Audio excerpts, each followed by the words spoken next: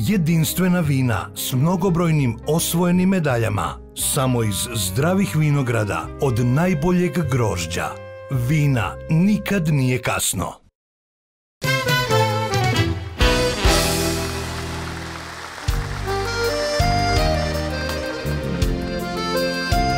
Da, još jedna lepa noć je pred nama, dragi naši gledalci. Nikad nije kasno, zaista nije kasno. Večeras ovu noć otvara moj dobar prijatelj, sjajan momak, Nikola Rokić. Uživajte. Ko to moju pesmu, kome li je do nje stalo, da li je nekom kao meni srce tužno zadrdalo? Ko to peva moju pesmu, kome li je do nje stalo, da li je nekom kao meni. Srce tužno zadrdalo? To, majstore! Kome li te život odneo? Kome li je sreću uzeo? Ko sa tobom blaži nemir svoj? Pesmo moja, verni druže moj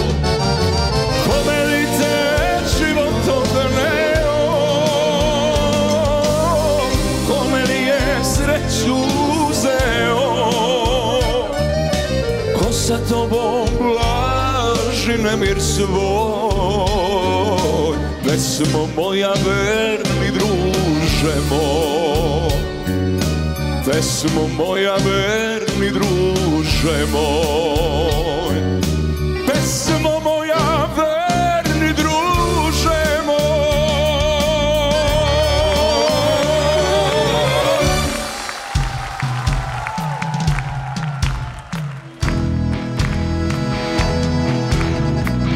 Posle tebe mrzim sebe i te žene oko mene. Kad ne ležim, onda bežim, progone me uspomene. Sve mi šanse noći crne prodale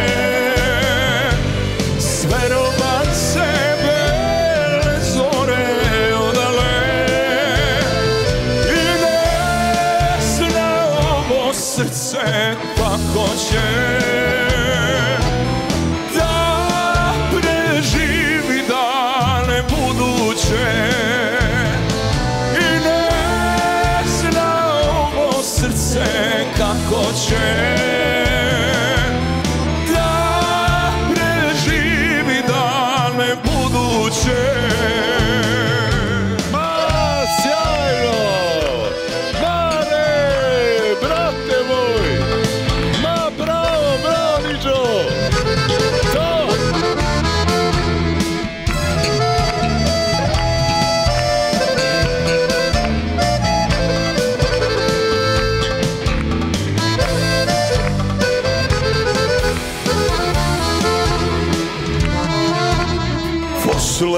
tebe lažem sebe da još ima nešto preče. Posle tebe suza peče svako jutro, svako večer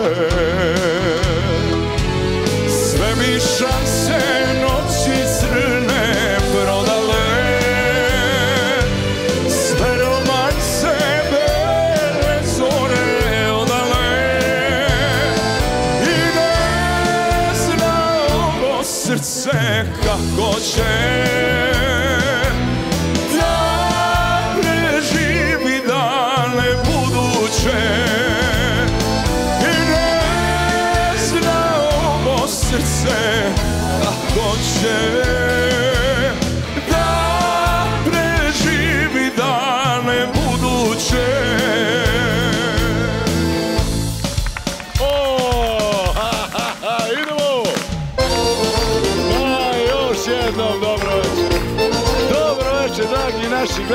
širom sveta. Za vas ovu emisiju otvara Rokvić. Sjajno. Opa, idemo devojke. Nije ljubav ni u pesmi ni u suzama Već je ljubav u glasu i na usnama Zato mila ti ne pitaj šta i ko sam ja Samo ljubi samo gasi moj žar. Nije važno da li sam prosjak ili car. Meki jastuk ili buljana koleba ili dvor. Nije važno to, samo da smo zajedno. Meki važno to, samo da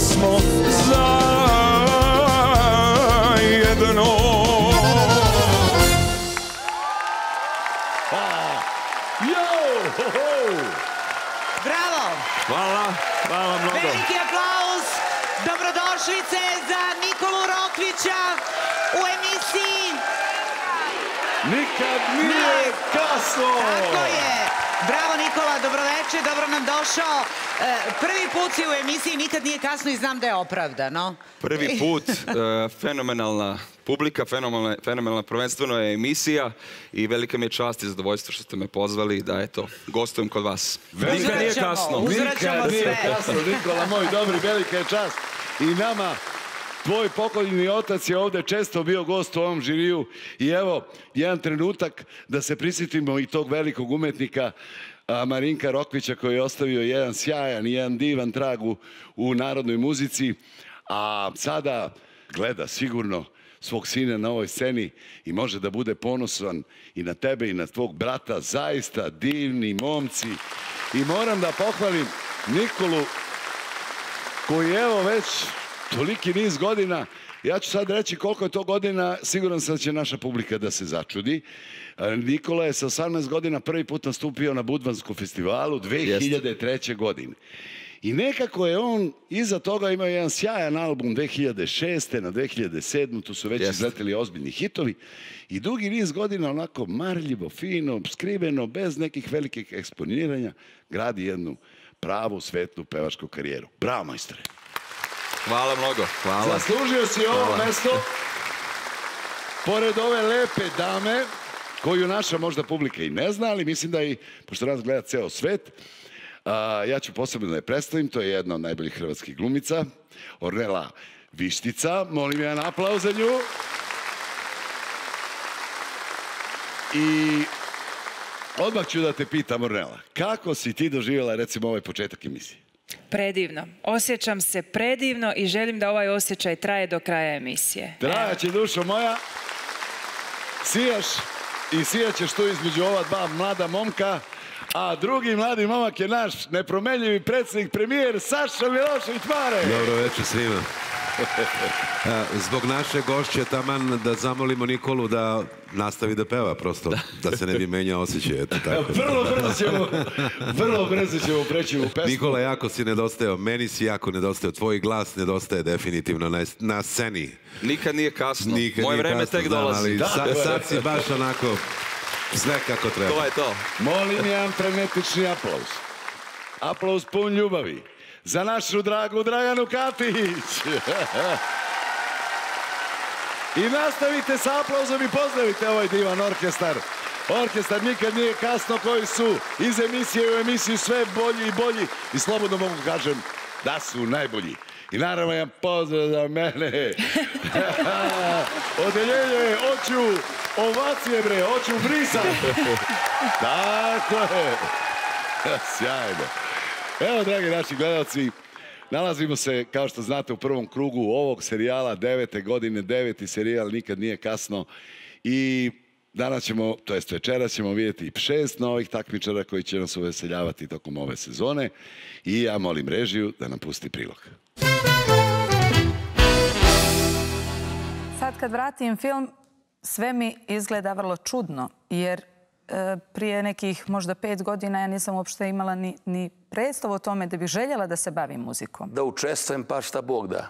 Eto, bitno je učestvovati, pa voleo bi da prođem što, što više ovih kako krugova, ali kako bude, neka bude. Band se zvao uh, Super Žimiti. Eto, znači tako smo se zvali. to je bilo onako malo, malo smešno ime. Najduži period u kojem sam svirao bio je hotel Bristol u Sarajevu. To je noćni klub bio, striptease bar. Ja imam tu ovi, profesionalnu deformaciju da, da ljudima, znači prvo pogledamo u, u zube. I odmah pravim plan terapije. ko ne kliker, kliker, ko nije igrao kliker. On je stakle. Pa posle bili su i plastični, vi možda ne znate, bili su i plastični klikeri. Su kandidati i ovo je bilo njihovo prvo predstavljanje, a sada ćemo vidjeti ko otvara emisiju.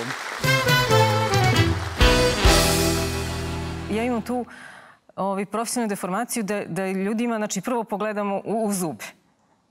I odmah pravim plan terapije. I voljela sam ja da pevam od malena. Nisam nešto maštala da ću ja biti pevačica. To ovaj, je nekako kasnije došlo, mada sam pevala. Pevala sam ovaj prvi put sam ovaj, na mikrofonu pevala sa četiri godine na ovaj, dodeli novogodišnjih paketića kod tata u bolnici, pošto mi je tata ovaj, doktor. U srednjoj školi nisam pevala, znači tek na fakultetu. Na fakultetu Ove, prvo je to krenulo na nekim karaoke ove, žurkama. Kada sam pobeđivala, osvajala prve nagrade, pa sam videla da to ovaj, da je to lepo, da se ja lepo osjećam dok pevam. Ja sam stomatolog. Znači, posle završenog fakulteta, ovaj, prvo sam predavala u ovaj, tehničkoj školi, frizerima sam predavala anatomiju, higijenu, dermatologiju. To mi je onako bio neki prvi posao. Slikanje, to me onako baš opušta. I uglavnom uh, ovaj, uhvatila sam sebe da, mi se crta i slika kad imam neki problem i onda me to onako smire, odlači mi fokus i tada ostavim ovaj sve. Ja imam uh, muža i dvoje dece. Ovi deca su mi iz prvog braka. Starija ovaj, čerka ima 18 godina, ovaj, dečko ima 11. Čerka je završila ovaj, tehničku školu, IT smer, bavi se tim stvarima, programiranjem, to voli, u tome se našla. A Danilo kreće sad u peti razred. Nemam neke ambicije, znači kako bude, bude. Meni je bitno da se ja lepo osjećam i da to ovaj, sve dobro prođe stvarno nemam neke ambicije u tom pogledu.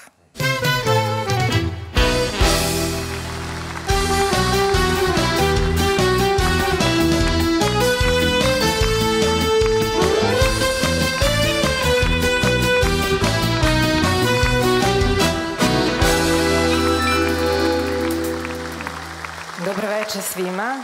Ja sam Vesna Denić, imam 45 godina, dolazim iz Zaječara. I jako mi je drago što sam ovde večera sa vama. Dobro, Dobro došla, Vesna!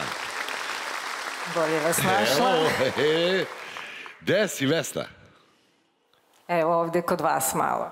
A, mi smo se videli malo pre i na probi i mnogo lepo društvo ćemo večeras imati. Vidim, imamo tri devojke večeras da znate. Vesna je prva od te tri devojke. Sjajno predstavljanje. A rekla si negde kad negde dođeš Prvo gledaš čoveka u zube, kaže, ovi dobri zubi, a? Evo. A? Odlični zubi, moram da priznam. E, vidi znači, kako, fenomenalni. Kako je meni moja Ljilja uradila zube, vidi za sve. Bravo, svaka čast, Hollywood smile. Mogu mi ljušku da pregrizem. Pozdrav za moju Ljiljanu Zubarku sa Bežaninske kose, a poseban pozdrav za tvog sina, Beci ga najavila, Danila, molim ja. Pozdrav i tvoj suprug Milan Veličković. Milane, dobrodošao. Bolje vas našao. Milane, ti radiš u osnovnoj školi i predaješ istoriju. Tačno. E sad, moram ti postavim jedno pitanje. Pa i sad ovako. Jel se sjećaš ti kad si išao u školu i učio si istoriju, ali tako? To ti je bila Da, ljubav. Bio. Si, bio si dobar đak i naučio si sve, I sve, istoriju. da. A sad kada uporediš tu istoriju što si ti učio i ovu što sad predaješ, jel ima neke razlike? Pa i ima. Znači, ona naša istorija, odnosno i vaša istorija je sad samo u tragovima. U tragovima sad? Da, da. Obrće se malo, isto? Pa samo su tu godine. A? Samo su tu godine iste, a tumačenje su različite. A to je interesantna nauka, istorija. Pišeš kako hoćeš i svak piše za sebe, ali tako? Tačno. Tako O istom događaju, recimo, Ja mogu da napišem jedno, ali tamo negde recimo neko drugi možda napiše da je drugačije Sad- bilo. A treći sasvim treći. Treće, je li tako? E, tako. Ali nema veze, mi učimo istoriju. Da, to što nam Ja se da. ja sam bio dobar u istoriji, da ti kažem iskreno, bio sam i dobar đak. Ali imam utisak sad kad bi otišao da polažem istoriju, ja bi pao. Jer ono što sam učio ne važi više. Džabe sam dao pare, vidi, i džabe mi petice iz istorije. Džabe, skroz. Dobro, pozdravljamo sve istoričare, slobodno pišite šta vam padne na pamet i onako će se promeni. Tako, je tako?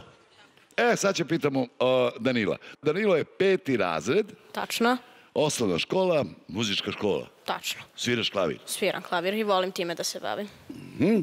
Kaže da si bio na par takmičenja, čak si osvajao neka mesta. Da. Prv, sva su prva mesta i zaista sam ponosan na sebe. Bravo, majstore. Bravo.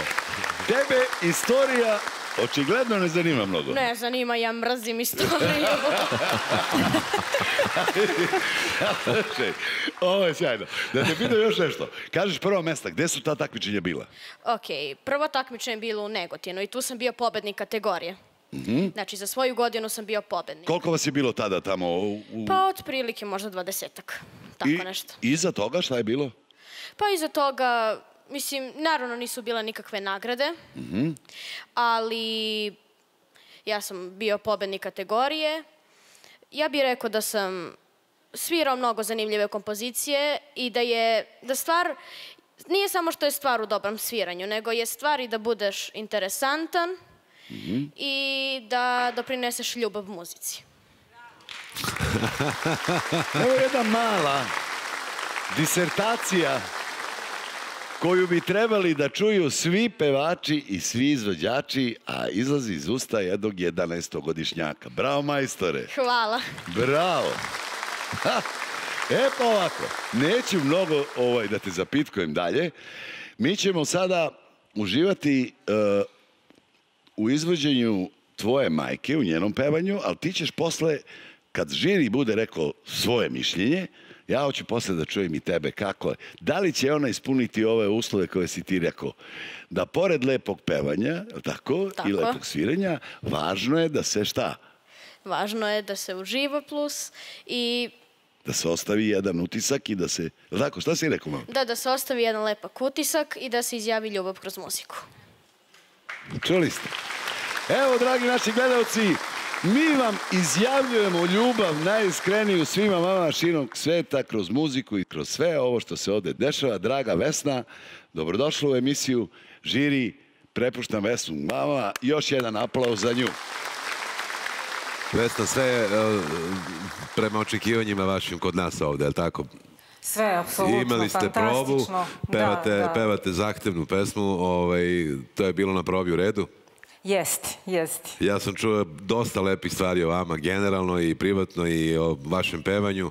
Ovaj, tako jednostavno se namestilo E, i jedva čekam da vas čujem uživo. To nisam do sad imao priliku. Eto, šta, slu- Hvala. šta slušamo? Hvala Samo recite našoj publici. E, Pevam pesmu Put od e, grupe Oktober 1864. Odlično, mislim da je premijera. Je li tako, Draganče?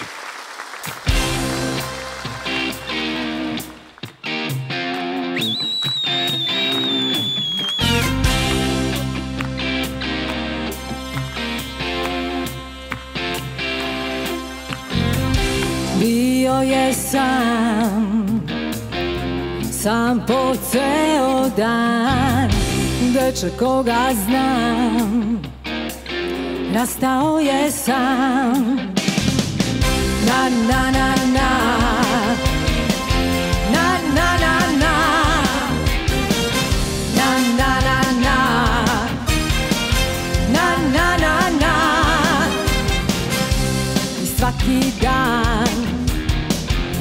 Iste igre iz početka Svaki novi dan. Sve više dosadan A jedne noći zaspao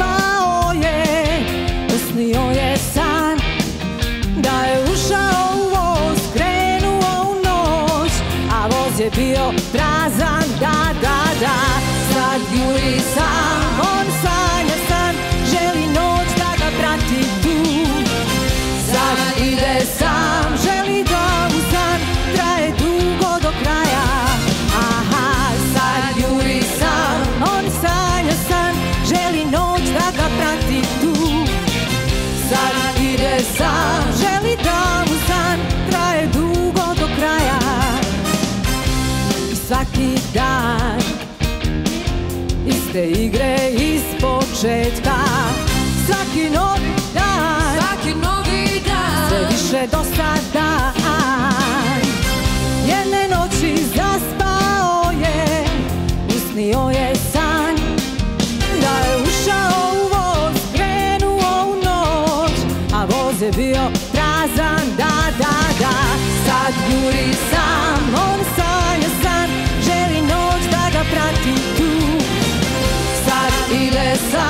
želi da mu san traje dugo do kraja Aha, sad juri sam, on sanja san Želi noć da ga nosi tu Sad ide sam, želi da mu san traje dugo do kraja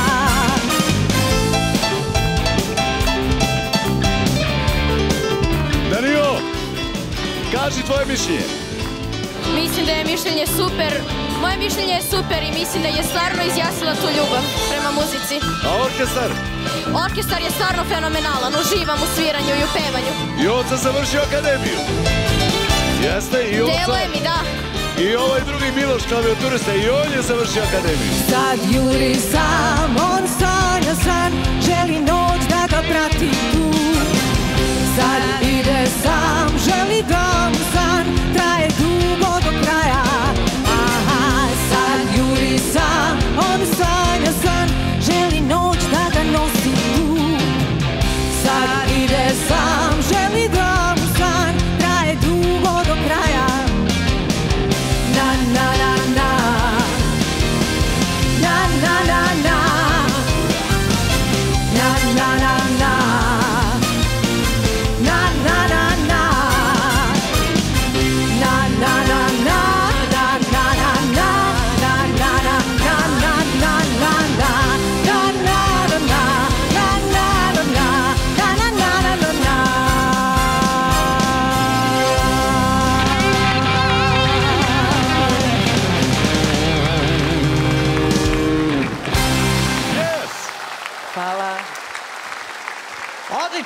Vesna, zahtevna pesma. Jeste vi zadovoljni? Yes. Dobro vam je sve zvučalo, je li tako? Odlično. Odlično. Ajmo da krenemo od Nikole da čujemo. Šta A, on misli? Divno, divno, svaka čast. Prvenstveno, dobro večer, Vesna. Dobro večer. Um, jako lepa boja glasa, e, intonacija odlična. E, meni se jako dopalo. Možda bi samo u nekoj budućoj e, emisiji e, možda izbor pesme e, bi više legao da je neki dinamički malo drugačija, da nekako ima neki, neku više razredu, nego kao, da ne bude kao ova koja je nekako konstantno u jednom u jednom e, dinamičkom opsegu. Tako da mislim da možete i da, da, da, da donesete to još na, na, na veći i bolji način u nekoj drugoj numeri. Ali ovako svaka čast, stvarno. Bravo. Hvala lepo. Evo, slušam Nikolu, sad savršen komentar je dao, ali bukvalno to je, to je baš u metu. Ovaj, sjajna je pesma, radijska je pesma, ali u vašem glasu se čuje ovaj, potencijal za mnogo više. Eto, zbog toga je to, pre, pretpostavljam Nikola to je rekao, tako, ali ja sam siguran da ćemo imati prilike da čujemo sve šta Vesna može da peva. Inače, sjajno, sjajno doneseno, to se tako peva, to je to. Da, da. Tako da nemamo primetbe, kako sam shvatio i Nikola ni ja, ovaj, se slažemo oko toga. Nemamo primetbe oko samog pevanja, ali prosto moglo je to da bude mnogo više sa tim glasom. Hvala. E, sada ćemo e, e, da čujemo Ornelu. Ja pre svega e, želim da kažem jedna od, kao što je Žika rekao, najpoznatijih hrvatskih glumica, ali vrlo insistiraš na tome da se kaže da, da si pozorišna glumica. Jako voliš da igraš u pozorištu i konstantno igraš u pozorištu. Naravno, naši gledaoci te znaju putem mnogih serija koje smo imali priliku i ovde da gledamo, ali kako je na tebe ostavio utisak, evo ovako, kompletan nastup e, Vesnin, e, ovako kao jedna glumica, posebno pozorišna glumica koja ima kontakt sa publikom non stop. Kako je to Vesna izvela? E, Reći ću samo jednu riječ, snažno. Bravo. Hvala, hvala lepo. Bravo. Bravo. Bravo. E, a pošto sam ja obećao da ću da pitam Danila. Danilo, kolega, jedno pitanje. Tvoj utisak na ovu izvedbu? Moj utisak je bio super, mislim da je moja majka baš super ovu pesmu izvela sa puno ljubavi i da i ja sam baš uživo dok sam je slušao. Molim aplauz. E, pazite sad ovo. Ja ne mogu da odolim. Prosto ne Meni je to najbitnije. Ja, Bravo, ne, bravo. ja ne mogu da odolim s obzirom da si mi rekao da si bio prvi u Zaječaru i da, si, da sviraš klavir, pa smo, pa smo u toku pesme rekli da je i Joca završio muzičku akademiju i Miloš je završio muzičku akademiju i da je to tvoja želja. E sad ćeš ti imati jedan drugi žiri i ja bi te zamolio, jer hoćeš da mi učiniš i da sedneš za onaj klavir i da odsviraš nešto po svojoj želji. Može? Može. Ma, bravo majstore! Aplauz! Danilo Denić, evo, izvoli mačak. Gledaj ovo. Bravo, bravo, Danilo. Bravo, majstore, pogledajte, mali maestro. E, maestro, Ne poznajem. maestro sedi za svojim instrumentom. Maestro, uh, šta ćemo čuti večeras? Kokice. Ko, kokice? Da, kokice se zove kompozit, kompozicija. Kompozicija zove kokice. Da. Ko je komponovao kokice? Kasern. Kaselo, dakle. Kasern, mislim da je iz Rusije, ja mislim. Pozdravljamo kokice! Maestro, izvolite! Izvolite, maestro!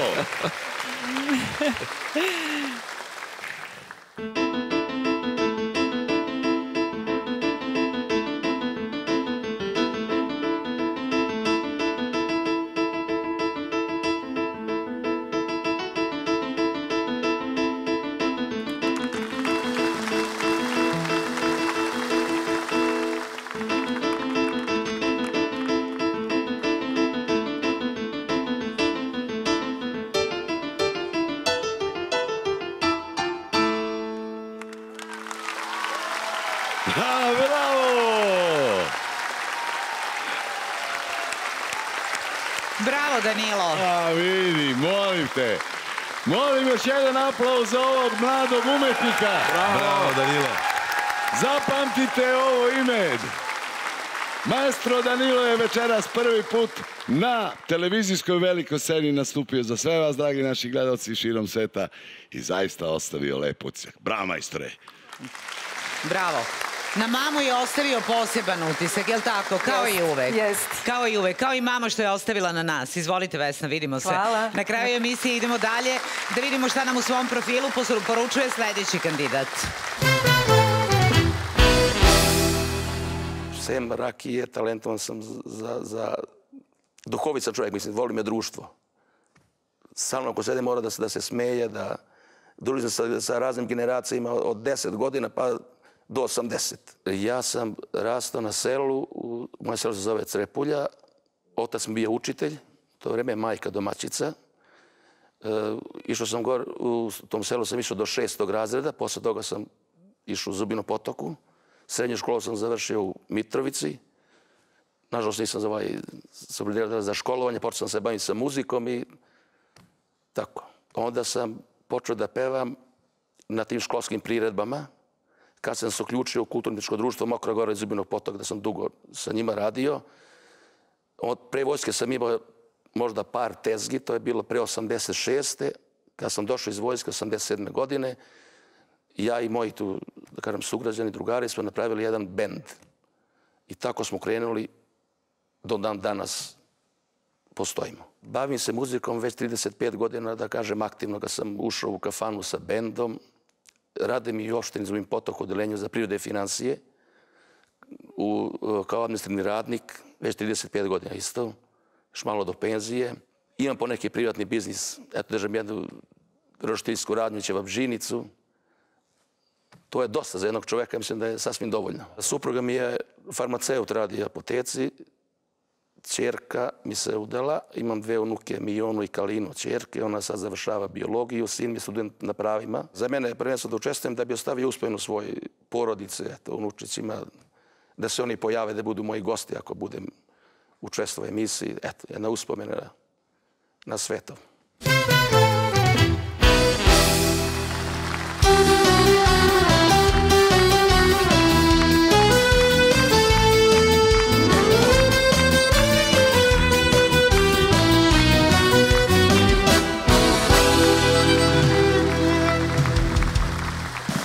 večer, ja sam Slaviša Đurić Đusan, to nisam zaboravio da kažem. Dolazim iz Zubinog potoka, sa Kosova i Metohije, preciznije sa severa. Imam 56 godina. I želja je bila da budem na ovakvoj velikoj sceni na pozornici. Želja mi se ispunila i to je to što sam voleo. Dobro večer, Slaviš. Dobro došao, Slaviša, dobri. Bolje vas našao. Evo, sjajno društvo je ovdje sa tobom. A, tvoj kum Nebojša Marković, molim pozdrav za njega. Da. Koji je također iz Zubinog potoga, a živi ovdje u Beogradu. I e, Nebojša, dobro večer. Dobro večer. Koliko si dugo u Beogradu? Pa nekih desetak, 12 godina već. Ovdje radiš? Radim svoj privatan biznis, dole mi je porodica, idem često. Ideš često dole? Pa da, ne mogu bez kuma. Jel tako? Tako je. Ne možeš bez rodnog kraja nikako. Nikako. Sjajno.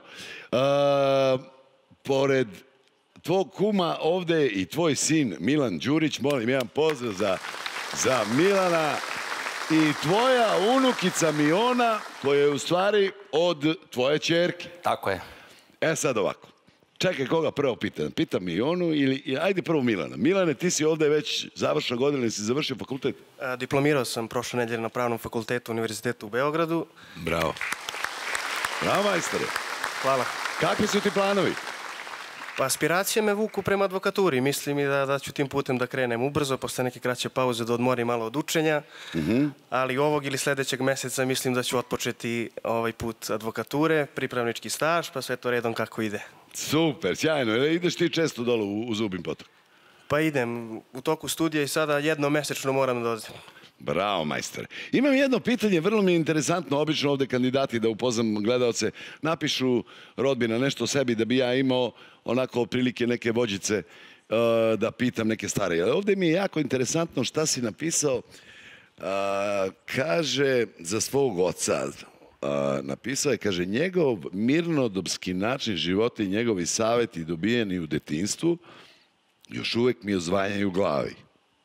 I onda kaže, jedno mi je rekao, kaže, sećam se, deset Božih zapovesti bi bilo sasvim dovoljno da urede život na zemlji.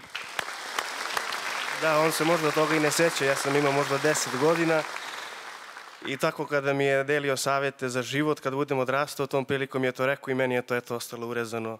Ja sam to napisao, eto, tad sam se setio u trenutku i rekao mi je 10 Božih zapovesti bi bilo sasvim dovoljno da urede život na zemlji. Sjajno rečeno, bravo Slaviša.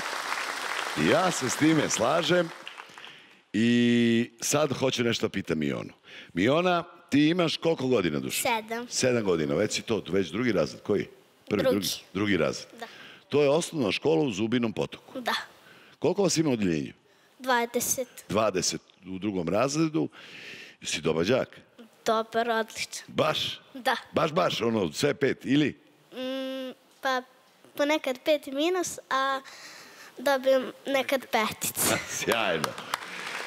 Neću te mučiti, došla si da podržiš svog dedu, imaš, u stvari bolje, želiš nekog da pozdraviš posebno, možda od A, Ljinje, Želim bi da s- svog učitelja Slađana i moje drugare i sve ljude koji žive na Kosovu. Sjajno. Evo i od nas jedan topli pozdrav, pun ljubavi i baš očekujem i da čujem kako ćeš ti da predstaviš, ajde da kažemo da si ti ovdje sad neki predstavnik naših sunarodnika sa Kosova i baš se radujem, vidim i koju ćeš pesmu pevati. Žiri, izvolite. Slaviša Đurić. Pomaže Bog, dragi Slaviša. Bog pomogao. E, Ja nekako imam e, mnogo emocija kada se sretnem s ljudima sa e, Kosova i Metohije i tako da jedva čekam da čujem e, tvoje pevanje i, i vidim i sjajna je pesma izabrana, tako da navijam za tebe i pozdravim mnogo naše ljude dole na Kosovo. Oću, hvala. Ma, bravo. Šta slušamo? Koju pesmu slušamo? Slušamo pesmu od e, Romani od Kalide Bešlića. Odlično, bravo. Sjajna pesma, bravo! Ajmo, momci.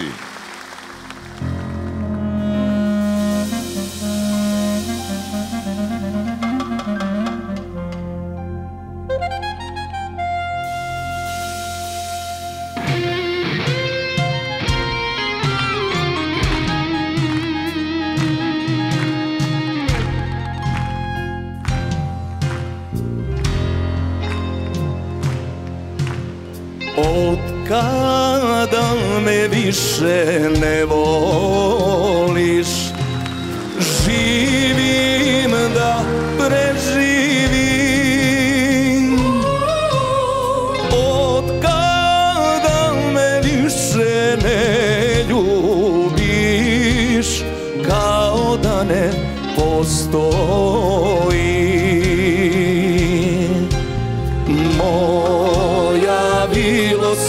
sunce premilo.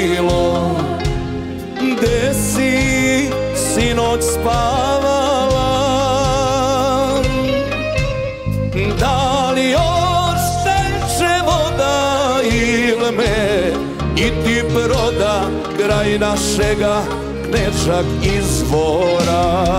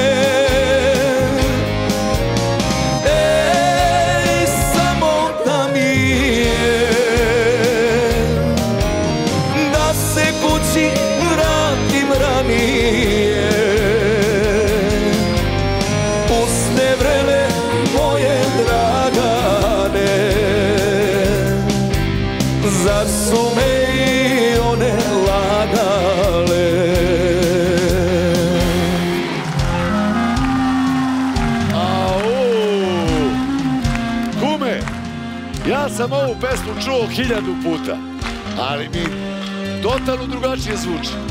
Baš nekako veličanstveno. Ja mogu samo da kažem za mog kuma Ćusu Slavišu da je jedna verna kopija Kalina Bešlića.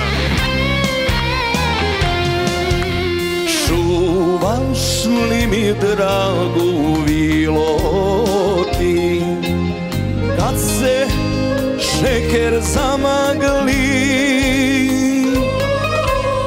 Da li oj suze suše vjetrovi Dok me čeka na kapi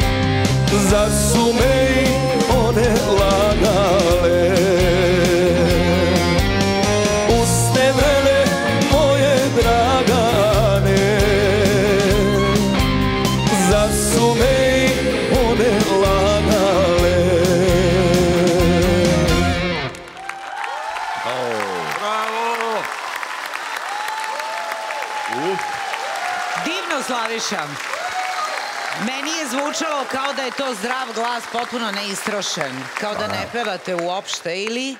Pevamo kako da ne. pe- a, me- meni nije tako zvučalo. Izvoli, Nikola. Sjajno, svaka čast. Slaviša, imaš glas e, za široke narodne mase, da svi zajedno pevaju sa tobom, kao što i veliki Halid Bešlić ima, tako da sam uživao i, i jednostavno tvoj glas tera na radost, na ljubav i svaka čast na tome. Hvala. Samo napred. Zato sam ja pitala, jel pevate, jel prosto neistrošeno zvuči glas koliko je moćan. E, Ornela, izvoli. Gospodine Slaviša, jel vi znate da je Halid Bešlić jedan vrlo jednostavan, jedan vrlo srčan čovjek kojeg ljudi jednostavno vole i vole biti u njegovom društvu. Vi ste mene večeras posjetili jako na njega jer ste otvorili svoju dušu. Hvala puno. Hvala vam. Hvala puno. Bravo. Maren? Pa da. A, izbor pesme, ovakav orkestar i ovakav pevač, to je definitivno win-win kombinacija, tako da ja sam se pustio odmah kako je krenulo, mislim, oni su perfektni zaista, ovaj, samo sam čekao taj prvi trenutak, tvoj prvi ovaj, start i on je bio savršen od početka do kraja, svaka čast Slaviša, nema, nema šta da komentariš. Bravo. Slaviša, sa divnim komentarima odlazite da se pridružite svojim eh, kolegama, izvolite. Nadam se da će tako biti i sa našim sledećim kandidatom ili kandidatkinjom. Sad ćemo videti. Znači, ja sam jedna žena koja voli da bude ono, perfektna. Ako nije tako, žao mi je. Ne možemo onda da, radimo. Ali imali smo jednu normalnu porodicu, mama, tata, sestra, ja. Čuvala nas je baka, pošto su mama i tata uvek radili, normalno. Ovaj, I jedno lepo, srećno detinjstvo, puno ljubavi, eto, familije. Nije kao danas, danas je sve nešto drugačije. Od 14. godine se bavim, znači, bavila sam se pevanjem. A, I to je tako krenulo, tako da sam najmanje bila u Nišu. Band se zvao Super Žimiti. Eto, znači tako smo se zvali. to je bilo onako malo, malo smešno ime. To je trajalo do 2004. godine, kada sam ja rešila da se. Nekako mi je svega bilo dosta. Eto. Ja imam dvoje dece. I Novak je bio treći.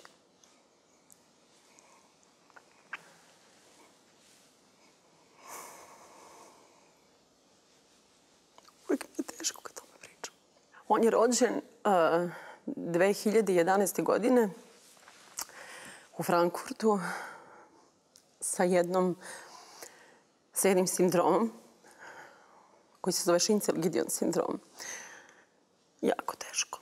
Ja, ja, ja još uvek imam tu knedlu u grlu, znači, ali sam shvatila kad se sve to desilo, da život u stvari je samo jedan. Eto. Jedan je život i trebate ga iskoristiti na najbolji mogući način. Kad je moje dete umrlo, ja sam mislila da nikad neću više pevati. Ja sam jedna ostvarena žena, prošla sam sve, e, mislim, sve što je mogo čovjek da prođe, dobre stvari, loše stvari, dobre još uvek živim, loše nadam se da mi se više neće dešavati. Živite život, jedan je život i nikad nije kasno za vaše snove.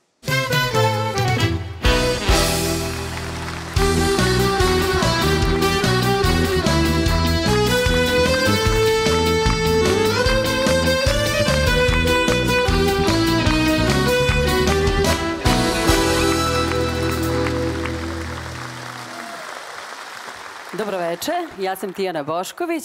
A, rođena sam a, u Nišu pre 45 godina. da, i živim u Frankfurtu. Bravo, Tijana.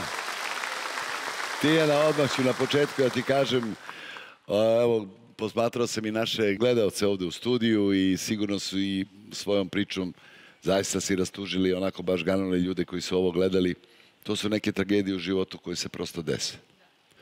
Nikad nećemo moći znati ni zbog čega su se desile, ali je mnogo važna stvar ono što si na kraju rekla, da čovjek iza svake te neke tragedije posle određenog vremena mora da nađe snage u sebi, da to sebi objasni, da da kažem u ovom ovo zemaljskom životu moramo da nađemo snage da nastavimo dalje naš put i da to sve nekako ima neku svoju svrhu koja je nama neobjašnjiva i lepo je što si naša snage i što si na tu scenu izašla onako baš sa jednom divnom energijom koja zrači i pleni još jedan aplauz za tebe. Hvala puno, ali ja moram samo da kažem kratko. Znači, ja ovdje ne bih bila da nije moj prijatelj insistirao, naš prijatelj Petar Škaro. Tako je. Ja moram da kažem to stvarno i da ga puno pozdravim ovom prilikom. A, za najbolju našu kafanicu u Frankfurtu, Frankfurtu, Vicu da. Hauze. Vicu Hvala. Škaro, volim te puno, šta da ti kažem. Da ti kažem jednu stvar. Vico House je jedan, eh, jedna divna kafana u Frankfurtu. Evo, ja koristim priliku i da ih izreklamiram zato što je zaista posebna. Ali moram da ti kažem jednu stvar. Često meni šalju te snimke gore sa vaših lepih zabava i onda sam ja primetio kako ti pevaš. Baš Da, da. Hvala. I onda sam ja malo s njim razgovarao, pa je onda on možda imao malo muke da tebe ubedi da se ti pojaviš ovde. Tako da ja pozdravljam i njega i sve dobre ljude iz čuvene a, kafane kao kod kuće, Kao kod u. Frankfurtu. Naravno, pozdravljamo sve ljude divne na ovom svetu, a sada pozdravljam i tvoje, tvoju podršku. To je Goethe i njegovo dete. Mislim, Tačno. Ali pazi ovo, ti vidiš to i odmah O, malo tamo je. gasiš svetlo, jel tako se ne vidi? Tako je. Back- backstage. E, vidite kak je to posao. Ja sam mislio si ti tamo pevao, bre. Naravno da jesam. Kako si pevao i puštao svetlo? Vodi život pod natalnoj karti, to veze s mozgom nema. Gledaj ovo, a šta ima s veze s mozgom? Slušaj me dobro. E, vidi, sjajan si bio. Evo nešto hoće da kaže Vladimir. Kaži, Vlajko. Nije Mirko. Dobro, to je okej, to je sasvim okej. Ja sam teo samo da kažem da Dragiša jako često odlazi u biblioteku, a slabo ovaj, radi na gradivu. A, I, slabo? o, slabo radi na gradivu. On, on sedi što kažu nako. On, on pazi Nako. samo kako vi čitate okolo, da čitate kako to je. Jedinstvena vina s mnogobrojnim osvojenim medaljama. Samo iz zdravih vinograda od najboljeg grožđa. Vina nikad nije kasno. Često meni šalju te snimke gore sa vaših lepih zabava i onda sam ja primetio kako ti pevaš. Baš Da, da. Hvala. I onda sam ja malo s njim razgovarao, pa je onda on možda imao malo muke da tebe ubedi da se ti pojaviš ovdje. Tako da ja pozdravljam i njega i sve dobre ljude iz čuvene a, kafane kao kod kuće, Kao kod Vicu kuće, tako u. Frankfurtu. Naravno pozdravljamo sve ljude divne na ovom svetu, a sada pozdravljam i tvoje, tvoju podršku. Naime, ovdje večeras sa nama su tvoj suprug, gospodin Saša Bošković. Molim jedan aplauz za Sašu. Saša je inače rođen u Frankfurtu i a, vlasnik jedne turističke agencije. Saša, dobroveče. Dobro večer svima. Kakva je to turistička agencija? Pa, interesantno, lepo. I kad se dosta putuje, još lepše. Bravo, to je šta? Šta radi turistička Organizuju Žiko ekskurzije, ekskurzije Mogu ja da kažem kratko? Reci duše. Ovako, to je znači turistička agencija Joker u Offenbachu i Frankfurtu. Mi se bavimo, znači primarna delatnost nam je turizam. A, ali pored svega toga radimo i neke druge stvari naravno.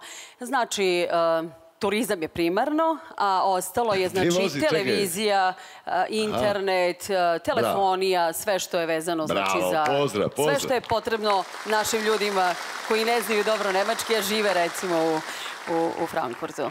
Bravo. Äh, ich möchte auch äh, begrüßen deine äh, alterest äh, Tochter. Hallo. Martina Bošković. Martina, 17 Jahre alt, Ja, genau. geboren in Frankfurt. Ja, auch. Und du gehst in welche Schule? Was ist das? Ähm, Elisabethengymnasium. Elisabethengymnasium. Ist das wie eine Musikschule? Schule, äh, weil hier steht das äh, Musik, Si- Sängerin, du spielst Klavier. Äh, also ich war in einer Musikklasse. Äh, mogu i na srpskom. Bavim se sa... Namjerno su krenuli malo na nemačko da se ja pohvalim kako znam nemački. Aplauz za Martinu. Uglavnom, bavim se muzikom uh, i u privatnom životu. Um, imam dobru drugaricu Anju Despotović, sa njom pevam u duetu, etno, bavim se etno pevanjem. Stvarno? Da, Našu muziku, ono, jeste. u sred etno. Frankfurta. U sred Frankfurta. Sjajno. A čekajte, pitam. Muzička škola, e, to je u stvari uh, muzik klase Elizabetni gimnazijum. To je Elizabeta, ona je bila od Getea čerka, je li tako? Je li to to? Pa, ili neka to- kraljica Elizabeta, ne, ili ova od Getea. Pa mislim od Goethe. Od Goethe. Da. Goethe se kaže, Goethe nije Goethe, nego Goethe. Goethe, Goethe. Jeste, Goethe i njegova čerka Elizabeten. Na primjer. To je, jeli, stvar. to je Goethe i njegovo dete. Mislim, Tačno. Sve. Ali pazi ovo, interesuje me ovo. Rekla si sada da pevaš i našu etno muziku. Da. I imaš tamo tvoje kolege koji idu s tobom u tu muzičku gimnaziju. Pevaš to i njima, jer oni nekada. Pa ne, Nemci se ne interesuju Ne razumeju, oni ne. se ne razumiju u našu muziku. Nemci nisu uh, kreativni. Kako nisu imali su oni Pa, ozbiljne u muzičkom kompozitore smeru tamo? nisu. Kako nisu? Mozart bio Meni. tamo iz Austrije, to ti isto kod da je Nemac. To je Žiko Pa davno ima prošlo pa vreme. ima, ko ima još, ko ima? Alo, vi akademci, ko ima nemački kompozitor još? Pa, Bio je Haydn, Heinrich, tako, Heinrich Bach, Heine. Heinrich. Heine. Strauss, Heinrich. Heine, e, čuvena e, i, i ova krajtana šadrovana. Tako, to je Heine. Pa imao je, Heine. jeste, Johann Da. Strauss, na primjer. Ona ti priča o 21. veku, ti sve što si rekao, to je otprilike negde pred dva veka i pa nadalje. A, dobro, vidi. Ali to znači da imaju tradiciju kao što i mi, dragi naši gledalci širom sveta, imamo jako bogatu muzičku tradiciju sa ovih prostora. Jeste. Koja je bila godinama pod raznim uticajima, je li tako? I u tome je u stvari i Mi smo, bogatstvo. mi smo ostali u muzici, a oni su otišli u autoindustriju, tako. Na primjer. Hoću samo da kažem da, da, da zaista treba svi da budemo ponosni na, na čitav ovaj Balkan i na ovo područje, zato što je uvek bio izložen kako uticajima bilo kojim, nevezano samo za muziku, ali muzičkim uticajima, tako da je to veliko jedno bogatstvo, jer su se ovde ispreplitali mnogi muzički pravci i zaista je muzika Balkana onako bogata i puna. U to ime vas sve pozdravljam i tebi, Dušo, želim da nastaviš e, Dajne Elizabetin gimnazijum i da budeš e, e, fenomenalna i dalje kao što jesi. Vama kao porodici želim da zaista čestitam na ovoj lepoj energiji i sada ostaje samo da te prepustim žiriju. Žiri, izvolite, još jedna dobrodošlica za našu Tijanu.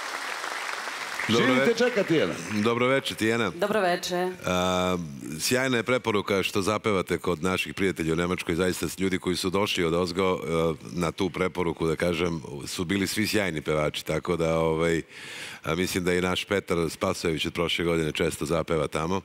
Tako da pretpostavljam da je standard i gore visok kao i kod nas. A, šta ćemo čuti večeras? A, večeras ćemo čuti pesmu Vesni Zmijanac, Dođi što pre. A ja moram da dodam, ja moram da dodam jednu stvar. Petar, Petar Škaro je moj veliki prijatelj, naša duša i em, ako vi pevate kod njega, ja ne moram ni da, da slušam, ja sigurno znam da, da, da, da ste vi sjajni. Tako Pa da, mi smo česti gosti Da. tamo i baš su mi malo prepisali drugarice da vas pitam, skoro je bio vaš koncert isto kod nas, pa su one slušale, pa je pitanje da li ćete opet doći, eto to je to. Bože zdravlja, Vole vidimo vas u se. Da. Frankfurtu. Bravo, Hvala. a pesma Hvala. kaže Dođi što pre, srce te želi. E, Nikola, devojke iz Frankfurta jedva čekaju da dođeš gore ponovo da pevaš. Eto me, Ajmo, stižem. dođi što pre.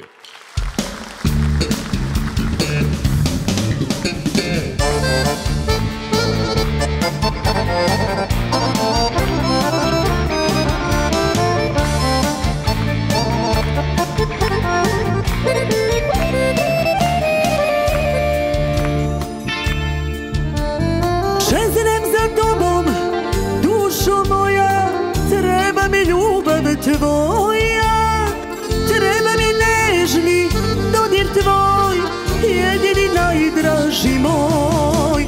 Dođi što pre, srce te želi, dođi što pre, sa mnom podeli noć i dan, ljubavi moja, želim, želim biti tvoja. Dođi što pre, srce te želi, dođi što pre, dan, ljubavi moja, želim, želim biti tvoja. Martina, ako prođe u sljedeći krug, ja bi voleo da prođe. I ja bi E, onda očekujem da ćeš ti da zapevaš s njom ovde na sceni. dogovoreno. Ja, znaš da u drugom krugu pevaju sa rodbinom naši kandidati, znaš? Da, znam. Pamtim za tobom, srećo moja, ublaže pisma tvoja. Nadu mi daješ, mili moj, sanjam već povratak tvoj. Dođi što pre, srce te želi, dođi što pre, sa mnom podeli i noć i dan, ljubavi moja, želim, želim biti tvoja. Dođi što pre, srce te želi,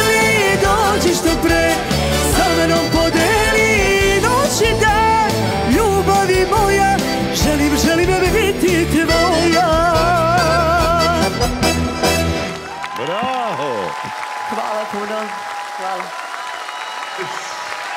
Divno, Tijana. Jeste zadovoljni? Ja sam uvek zadovoljna. Uvek, bravo, bravo. E, Pošto je bilo puno preporuka pre nego što ste počeli da pevate, e, da li, je, e, da li su sve te preporuke i pohvale zaslužile, evo, sad ćemo da čujemo od Nikole prvo. Tijana je veliki borac, to se vidi i u, u, nastupu i u pevanju, tako da dolazim što pre u Frankfurt da zajedno pevamo svaka čast. Bravo. Jedva čekam.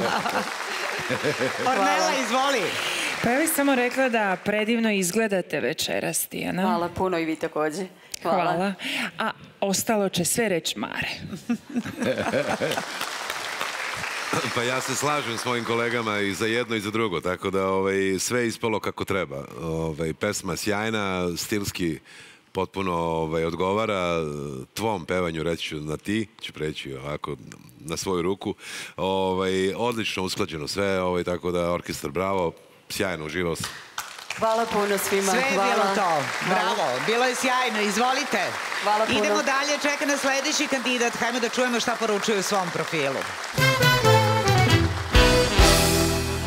Bavio sam se cijeli život samo muzikom, a u zadnjih 15 godina radim u jednoj austrijskoj osiguravajućoj kući. Neku sliku koju imam iz detinjstva, to je neka od najmlađih.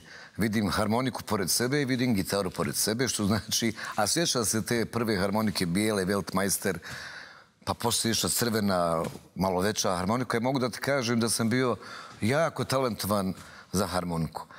A onda kako to ide u životu, onda su krenule djevojčice, gitare, duga kosa, školske zabave do prve neke grupe koja se zvala Grč. Najduži period koji sam svirao bio je Hotel Bristol u Sarajevu.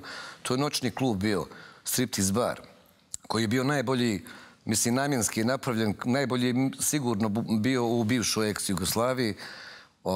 Tu je bilo radno vrijeme od 11 na večer do 4 ujutru. Krenuli ste 90. godine ružne koje treba što prije zaboraviti, mislim.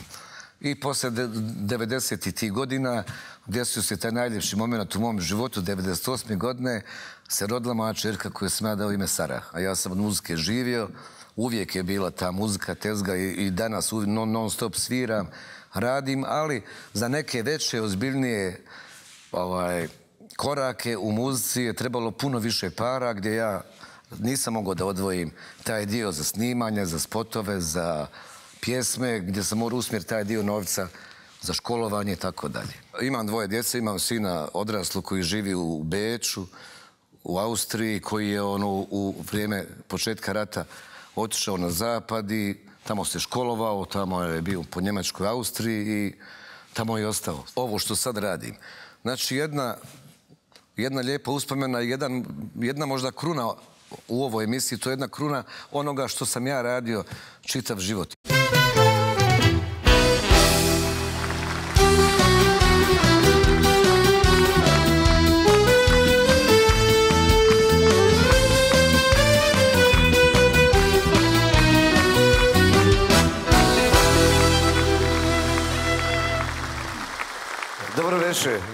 Moje ime je Nedim Dino Hanjalić, dolazim iz Sarajeva. Imam 64 godine, u cvijetu mladosti, naravno. Nikad nije kasno. Ej, Dino, dobri. Dobri, Žik. Gde si, Dino? Ja i Žik. Dino. Ja se ovako obraćam Dinu zato što je on nije prvi put ovdje u ovom studiju, naime, pre koliko godina je tvoj brat pevao ovdje i takmičio se? Četiri ili pet. Četiri, pet godina i Dino, si, ti si čak i s njim nastupio u onom delu kad pevaju. Da, u revijalnom dijelu programa smo otpjevali zajedno jednu pjesmu. Bravo, Dino, pozdrav za tebe. E, znaš šta, znaš šta jednu stvar, ima malo repliku na ono što si rekao u onom uh, intervju, znaš. Rekao si, pomenuo si naravno ta nesrećna vremena uh, 90. godina kada su na svim ovim prostorima bili ratovi, ginulo se i mnogo je ljudi, ono što se kaže, zavijeno u crno na ovaj ili na onaj način i uh, rekao si treba to zaboraviti. Ja mislim da bi možda trebalo drugačije da se postavimo prema tome. Ne trebamo mi toga zaboravimo, nego mi trebamo iz toga svi zajedno izvučemo jednu veliku pouku. Da izvučemo pouku zajedno i da se malo saberemo i da pogledamo pozadinu toga pa da izračunamo ko je tu bio profitirao i ko je izgubio. A Izgubio je narod i ti svi ljudi koji su Tako nastradali i, i, i koji su izgubili svoje domove, svi zajedno. Pouku treba izvući iz nekih grešaka u prošlom životu da nam se to više nikada ne dogodi. Nek živi ljubav. Tako je. Tako je. E sad ovako. Idemo opet na društvo koje ja dobro znam. Pazite ovako. Pored mene sedi Đorđe Petrović. Molim aplauz za njega. Ja ću... Ajde on. Kako? Perović. Perović, Perović. I prošli put sam, kad sam ga najavljivao kao kandidata predno 7-8 godina. Đorđe, kad je bilo to? To je bilo malo 17. prije drugog svjetskog rata, ali uoči. 17, 18, koja je bila? Ja mislim 18. Đorđe nastupao ovdje kao kandidat i dobro si šarmirao ovo moje odljenje. Vidi, niti su se one promenile, a ti si mi se prolepšao. Da me Žika ne išćera, znači ja bi sad pored njega sjedio. Ti bi mi se oženio Ali Dragana Milija. Oženio bi mi se ti u Beogradu ovdje, vidi. Vidi, u, uapsili bi te ovo odljenje ovdje i ti bi mi tačno stao ovdje kao beogradski zet. No ti se vrati u Sarajevo, šta se radi? Nikad se vratio nisam. Brate, sećaš se, da sam rekao bre, da sam 30 godina rođeni Beograđan. A ja, jes, ja sam zaboravio sve. Ti u stvari živiš u Beogradu. Tako je. A, bravo, pozdrav za sve Sarajli u Beogradu. A sve sam pomutao. E, a kod Ine, kod ispravljanja grešaka, taj neće naučiti nikada da ispravlja greške. Tri put se ženio. I nije, I nije zaključeno. Duboko poštovanje! Devojke! Poštovanje, duboko! Pobedio si! Joj, sjajno. Ali pa i sad, još jedan momak koji je sedeo ovdje pre jedno 3-4 godine, isto, otprilike isto sezone 6-7 godina, a, gospodin Luka Erić. Molim jedan aplauz za njega. Dobro večer svima. Sećate se ovog momka, on je u stvari bio uh, uh, i dan danas i sin Ratka Erića, jel tako? tako je. A Ratko Erić je bio naš, naš pevač ovdje, mi je Ratko dosta dugo, skoro do finala bio. Da, da, bio je treći od strane žirije, druge strane publike. Jel beše ti imaš i burazera isto tako lep ko ti? Da- Hvala, jeste. Jeste? On je lepši možda. E, čekaj, čekaj. Da. Tad si ti išao, prije 6-7 godina škola, srednja, šta je bilo? Tako? Pa da, završio sam tu srednju školu, a danas sam diplomirao, tako sam završio i fakultet. Baš I danas? evo idem sa diplomskog ovdje. Ba, bravo, bravo, Stvarno? Luka. Bravo, Luka. Bravo, evo vidi. Pre 7 godina srednjoškolac, ponovo došao u studiju, diplomirao. Šta radi Ratko? Pa Ratko peva, ovaj, i ja sam počeo pevam, pa me Ratko uči da pevam, tako da... Čekaj bre, zašto si išao u školu, hoćeš da pevaš bre?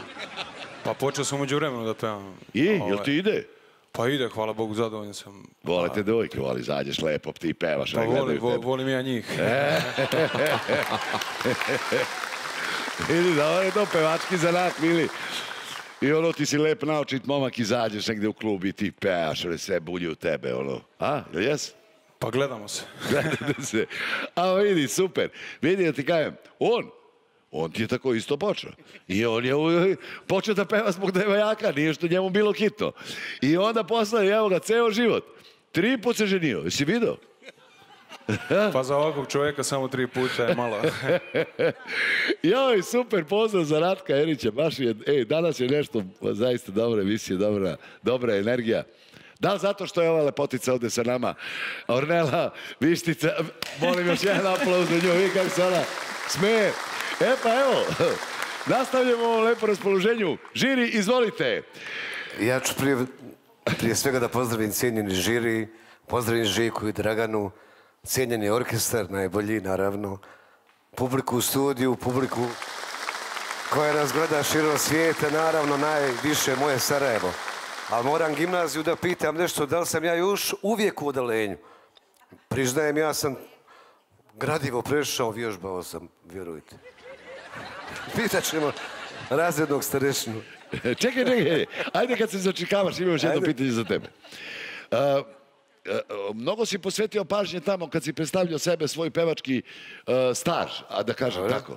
Pa si baš dao naglasak na taj neki striptiz bar, najbolji ovde, ovaj, da si ti pevao tu noć u 11 sati pa do 4 ujutru. I kaži mi ovako, vi, on, ja znam šta, šta se radi po striptiz baru. A šta se radi? Dođe gospoda, sedne, zapale cigare i ono, a imaju videovičići i oni se tamo ima po šankovima, ima one šipke, jel tako? Jel imali šipke? Da, ne, ne, ne, nije ta Ne. bila šipka. Ne. Nego? Ne. Valjaju se po podu. Pa otprilike A tako. čekaj, ono, ono goluguzi izađu tamo. čekaj, pa pita, pa jeste. Pa ko nije bio, slobodno možete idite da vidite, ja sam bio. I, i šta, oni izađu ono goluguze i igraju tamo. A šta vi radite? Vi pevate, svirate, šta radite? Ne, ne, ne, ne, ne. Nego? Moj kolega koji je bio na klavijaturama, on je imao poseban ovaj program, odnosno muziku da je svira uz Dobro, on svira, šta ti- Ja sam bio zadužen za rasvjetu, za svjetla, naravno, u ritmu. A, ti si im davao... Ja sam davao... Svetlo su podršku. Tamo gdje treba svjetlo se upali. A tamo kada treba, u, u, kada nek, treba, recimo, ugasimo. u neki sapere, tamo kad se nešto dešava, ti vidiš to i odmah malo gasiš svetlo, jel tako se ne vidi? Tako je. Backstage. E, vidite kak je to posao. Ja sam mislio da si ti tamo pevao, bre. Naravno da jesam. Kako si pevao i puštao svetlo? Pa kad, kad imamo svoj program, mi, mi svoj program radimo. Kad je program A, sad sam Jončar, Vi- onda smo zaduženi za drugi dio programa. pa da, vi ste, vi ste tu bili za zagrevanje, vi Pa ono za malo napravite atmosferu, kad izađe u neke luguze, ti prelaziš na svetla, gasiš svetla i dalje uživate. Bravo, pozdravljamo Hvala sve Hvala. striptiz barove na ovom Hvala. setu.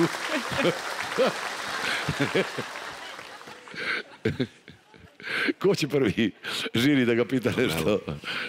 E, što da pitam Nedima? Šta god želite. Pa ništa, ja volim Sarajevo jako, znate? Drago mi je. Da, jer ja sam rođena negdje blizu Sarajeva, vrlo. Gdje je to? Mostar. A pa blizu je. Tako je, A znate blizu je. ono, Sarajevo, ljubavi moja. Tako je. Kemo je jedna od meni omiljenih pjesama, ali druga, jedna od mojih najdražih pjesama, pjesma koju vjerujem da svi vole večeras ovdje, to je pjesma legendarnog Miše Kovača. Ja vas molim, jedan Tako je, veliki pljesak Kovač. za Mišu Kovača. Tako je. Tako je, bravo. Hvala lijepa. A upravo si u stvari... Šta slušamo, Dino? Tako je. Slušamo Mišu Kovača, pjesma kaže Nikoga nisam volio tako kao tebe. A, ba, sjajno. Ja ću samo da zamolim majstora svetla da vodi računa kako će ovo sada da... Priguši svetlo! I pustite slobodno dve gologuze da dođu do kod mene.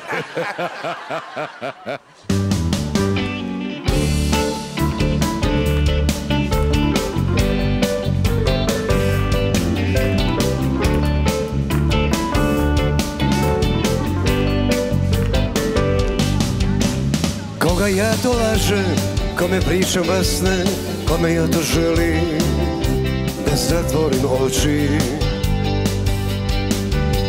Kad su mnoge stvari odavno mi jasne, kad se isto biće već danima toči. I noćas je ovdje više nego prije, više nego kad je priznala da voli. A to što se kunem da mi važno nije To žalo tražim način da prebolim. Nikoga nisam volio tako Dušom i tijelom beskreno lako kao tebe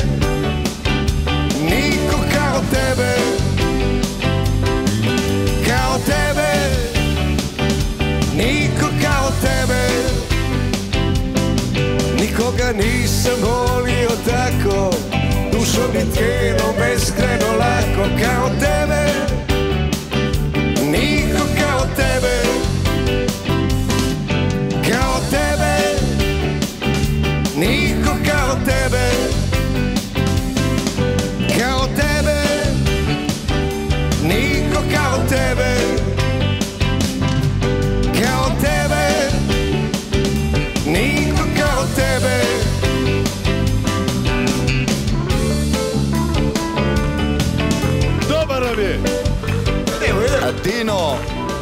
ja predviđam makar četvrtu svadbu, za petu nisam siguran. Či go želim opet, a? I noćas je ovdje više nego prije Više nego kad je priznala da voli A to što se kunem da mi važno nije To uzalo tražim način da prebolim Nikoga nisam volio tako dušom i tijelom beskreno lako kao tebe. Niko kao tebe. Kao tebe. Niko kao tebe. Nikoga nisam volio tako. Dušom mi tijelom beskreno lako kao tebe.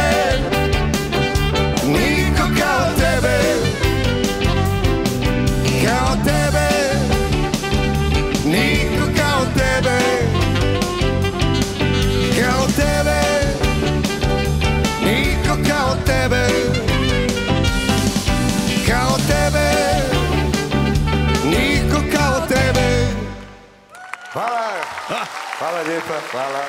To. Hvala. Hvala Nedime za podsjećanje na ovu divnu pesmu. E, Ne znam, Mare, Ja mislim da jeste. prvi put? Ja mislim da ja, jeste. ja bi isto rekla, da. Ništa, proverit ćemo ti ja, pa ćemo saopštiti gledaocima. Ali evo, nastavi. I, izuzetno iskusan izbor pesme, iskusno pevanje, iskusan Hvala. nastup, sve, ovaj, sve najpozitivnije što, što posjeduješ, u stvari dobar deo toga si stavio u prvi plan i to govori o tvom iskustvu koje očigledno znaš da koristiš na najbolji način. Hvala lijepo, hvala. Bravo, Ornela. Ma vama to toliko dobro leži, gospodine Nedime. Vi kao da ste rođeni, kao da ste u dnevnom boravku. Evo, tako imam osjećaj ja. Sad ne znam kako U se... vi- trpezariji. U trpezariji, da. Odlično, Hvala. Bravo, bravo. Nikola, izvolim. Pa ja mislim da je ova emisija dobila jednog miljenika ženske populacije. Ja sam siguran u to. Oženit ćemo Tako ga. da, Pa nemoj četvrti put, Nikola, molim te. Nekad ostaje. Ali eto, i, i takav stil i izgled, a i sarajevski humor, to je onda potpuna priča. Veliki A i ovo pozdrav za Sarajevo. šarmiranje malo, Hvala. i To je, koketiranje. to je, I svega imam, svega imam. Hvala lijepa. Hvala, hvala. Bravo, Nedime, izvolite. Vidimo se. E, tako je. Bravo. E, maestro. Bravo, idemo dalje, da vidimo ko je sledeći. Meni su se, na primjer, neke stvari u životu vrlo čudno dešavale. Ja sam, na primjer, kad sam bila ovaj, djevojka još, od, od, uradila sam natalnu kartu. I ta natalna karta išla je tako kako je išao moj život. I tada mi je ta ovaj, žena koja je radila natalnu kartu, inače je završila astrologiju, ovaj, rekla da će oko 40. godine da se desi nešto gdje će moja karijera da krene u drugom smjeru i da ću možda biti čak i javno popularna. Rođena sam u Podgorici gdje sam završila srednju i osnovnu školu, živjela sa roditeljima i sa sestrom koja je starija od mene sedam godina. Veliki dio svog djetinstva sam provela u Pljevljima i zato sam specijalno vezana za Pljevlje. Kao mala ja sam učestvovala u, u školskom horu i voljela sam da pjevam. I često su me drugarice ispred zgrade, onako kad bi se družili, molile da otpjevam poneku pjesmu. Nakon završene srednje škole sam se zaposlila i brzo nakon toga sam se i udala, gdje sam rodila troje djece, čerku i dva sina. Onda su znali doći nam društvo, kumovi, prijatelji. I onda ajde da vam Ivana nešto zapjeva. I tako sam ja, prosto mi se ovaj, pojavila mi se želja da se ja sa tim prosto bavim. Moj najveći uspjeh je to što sam napravila jedno lijepo porodično gnijezdo. Imam predivnog supruga koji mi je u svakom smislu podrška. Ja sam svjesna ovaj, da ovaj posao nosi određene poteškoće. E, Riječ pjevačica, naročito u Crnoj Gori, i nije baš nekako na nekom velikom nivou. Želim da vidim da li je ovo što ja osjećam, ova ovolika želja za muzikom, za pjevanjem, da li je to to? Da li, da li to, da li, da li ću ja uspjeti u tome?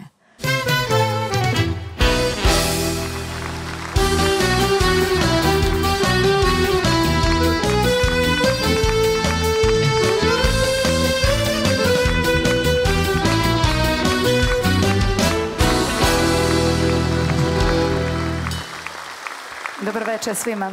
Ja sam Ivana Stojović, imam 40 godina i dolazim iz Crne Gore, iz Podgorice tačnije. Bravo, Ivana. Dobrodošla, Ivana. Bolje vas našla. Je li ovo pisalo u tvoju natalnu kartu da će dođeš ovdje? Pa ja mislim da jeste. Kako misliš, je li pisalo ili nije? Pisalo je. Gdje je pisalo? Tamo u natalnoj karti kaže da ću biti javno poznata. Ja je? mislim da nema bolje prilike da budem javno poznata od ove. Jel čitaš to svaki dan tu kartu tu? Vatiš, prvo počitaš kartu, pa onda gledaš šta će radiš. Pa ne, ja sam je zapamtila, ne. A, znači na pamet. Sve na pamet. Da ti ja kažem jednu stvar. Znaš šta treba čovjek da radi? Vodi život pod natalnoj karti, to veze s mozgom nema. Gledaj ovo, a šta ima s veze s mozgom? Slušaj me dobro. Čovjek u životu ne treba se oslanja ni na keke natalne karte, nego lepo da postavi svoje ciljeve u životu, ali da ne zaboravi i da proceni realne svoje mogućnosti. Da to bude u skladu, da to bude ostvarljivo. Mnogi ljudi postave ciljeve u životu, a zaborave prosto da vide da oni sami nemaju kapacitet za to. Kad uspostaviš dobre ciljeve, koji su skladni, to jest u skladu sa tvojim realnim mogućnostima i željama, i ako su oni proizvod tvoje iskrene želje, onda ti ne treba nikakva natalna karta. Nego prosto, kad ustaneš ujutru, ne čitaš natalnu kartu, nego kažeš sebi ovako i razmisliš kako ću ovaj dan da budem bolji nego što sam bio juče, kako ću biti bolji prema mojim prijateljima, prema mojoj deci, kako ću biti bolji na mom poslu, kako ću biti bolji prema svom partneru i šta mogu da učinim da i meni malo bude bolje ovaj dan nego što je bio juče. To je ste, prava Žiko. natalna karta. Upravo ste, Žiko. Ja sam postavljala sebi ciljeve i ja sam svoje ciljeve donekle ostvarila. Imam ih ja još. Ali najveći moj cilj e, sjedi pored vas. Imam još jednog koji je trenutno u Splitu. Ali to je moj bio životni cilj i ja sam taj svoj cilj ostvarila. Tako je, tako je. A pored mene sedi tvoj sin Luka, molim aplauz za Luku i tvoja čerka Jelena. A drugog sina koga si pomenula je Balša. Balša. I on je futbaler, je li tako? Jeste. I koliko ima on godina? On ima 12 godina i trenira u futbolskom klubu Zlatna lopta iz Podgorice. I sada su negdje u Hrvatskoj na nekom Na turniru. turniru. Sjajno. Evo i Luka trenira futbal, je li tako Lukijano? Da, Ko ti imaš e, devet godina, da.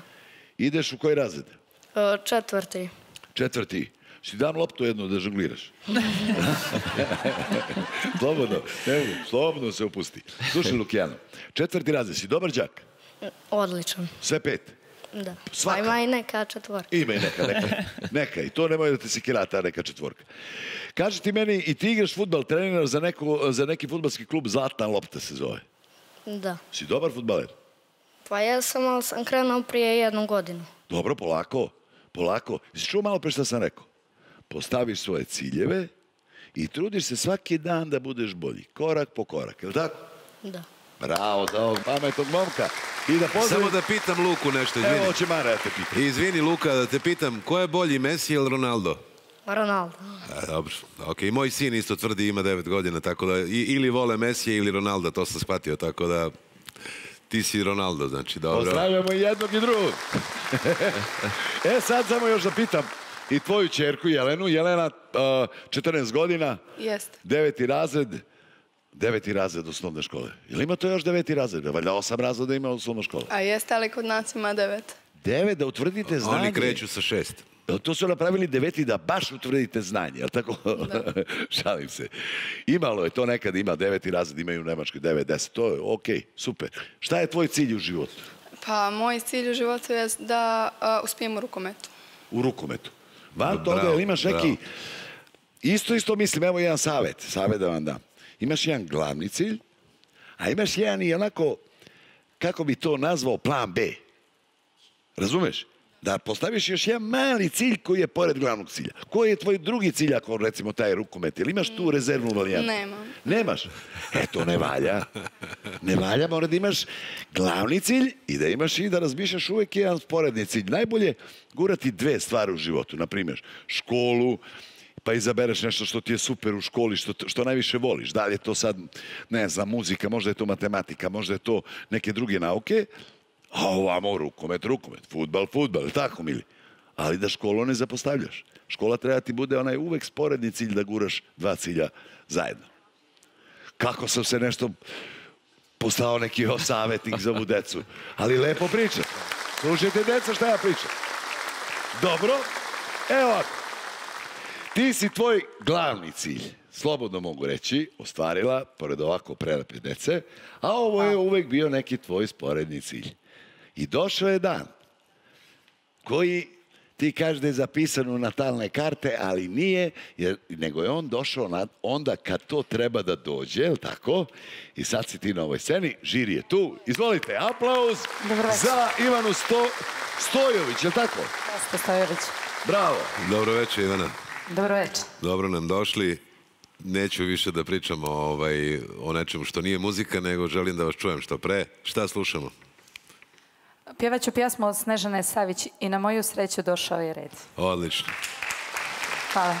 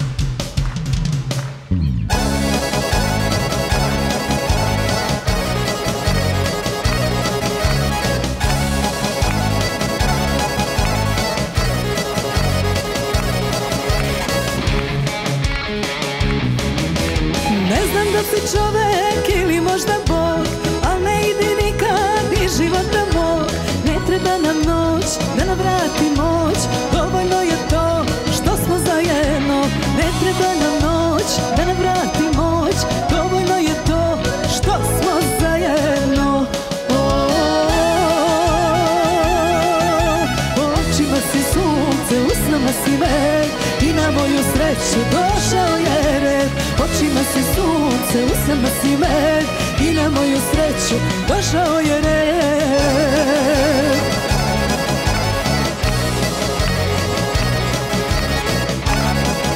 Luka, znaš i ti ovu pjesmu? Pa onako, onako. I ja isto slabo mi nešto.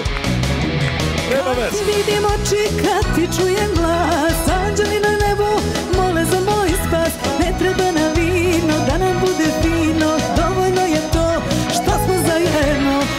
treba nam vino da nam bude fino Dovoljno je to što smo zajedno. O, Očima si sunce, usnama si med I na moju sreću došao je red.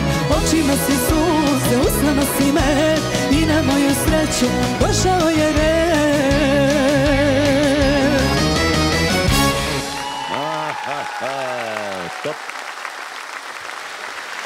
Ivana. Hvala vam puno, Dragana. Je li ovo to što ste zamišljali? Je Jeste, bilo ovako? jeste, baš jeste, kao san. Kao san. Ornela, izvoli.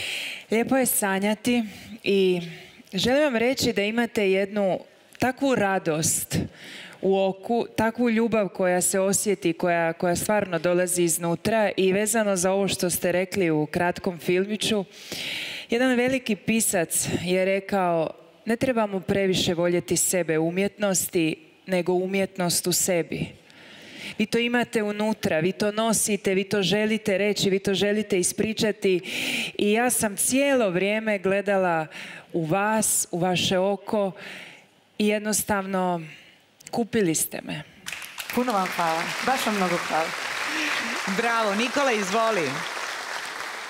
Ja sam uživao i vidim da vi uživate dok pevate i eto, drago mi je da je, da je tako i mislim da je vreme da uzmete od ovog trenutka život e, i muziku u svoje ruke i da jednostavno pevate i da se veselite i to je to. Baš bih to željela. Hvala vam puno. Mare? iz tog vašeg mira koji nosite sa sobom i tog nekog, da kažem, zadovoljstva koje je očigledno ovaj, usklađenosti sami sami sobom. Ovaj, došlo je jedno sjajno pevanje i ja samo mogu da vas zamolim u nekom od sljedećih kola da čujemo neku brenu. Čini mi se da bi to baš bilo onako dobro. Važite tako? koverno. Hvala vam puno. Hvala. Bravo, Ivana, izvolite. Hvala. Nama je, poštovani gledalci, ostao još jedan kandidat ili kandidatkinja. Sada ćemo vidjeti ko je. Slušajte, a, takva pozitivna energija koju ja odavde gledam dok vi radite te- na, na, na malom ekranu, a ja sam u tom smislu isti i mnogo sličan, tako da, da sam ja vjerujem da će to jednog dana i mene e, ovaj, zakačiti da ja dođem. Već kad sam imao godina, ovaj, ja sam znao zaista da će moja e, biti najveća ljubav muzika. Ja sam odrastao u Bijeljini, a sa završetkom srednje e, škole e, prešao sam u Sremsku Mitrovicu i počeo sam živjeti tamo i raditi u jednoj lokalnoj firmi gdje sam se zaposlio i naravno poslije toga kreću ta neizbježna takmičenja, takmičenja pevača, amatera, gdje sam ja ovaj, imao zapažene rezultate, imao sam dobrih nagrada, prvih nagrada. Aktivno sam učestvovao, počeo učestvovati u muzici e, 1982. godine. A to je znači ove godine 41 godina. Ja zadnjih godina radim u prosveti. Uspio sam da se doškolujem. Tako da predajem ovaj djeci e, srednja škola, u pitanju srednja škola Nikola Tesla. Ovaj, u Sremskoj Mitrovici predajem djeci ovaj, praktično nastavu mašinsku struku, tako da, da sam ja presretan čovjek. Ja jesam porodičan čovjek, ali e, što se tiče ovog dijela, ovaj, ja sam e, ovaj, ušao u drugi brak. U drugi brak sam ušao, imam čerku i sina, oni su sa mamom, oni su sa mamom, neka su, hvala Bogu. I e, ja im želim svu sreću ovog svijeta. Nisam se nimalo umorio što se tiče pjevanja. A paralelno s tim sam negde, e, imam negde 42 godine radnog staža u penzionom. 42 godine. Ozbiljan sam čovjek, e, zadovoljan sam, e, život nema reprizu, idemo naprijed, borimo se, šaljemo pozitivnu energiju, to je to.